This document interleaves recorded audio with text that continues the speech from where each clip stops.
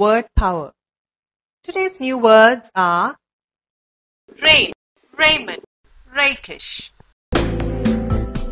Rail. Why did your dad rail at you? I broke an antique vase which was gifted to him by my grandfather. raiment, Are you sure you're not attending the marriage? Yes, I'm not attending as I have no appropriate raiment to wear.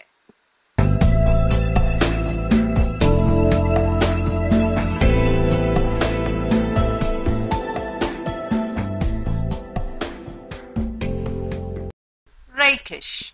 What kind of sunglasses are you looking for? I would like to see some rakish glasses from the Duke's collection.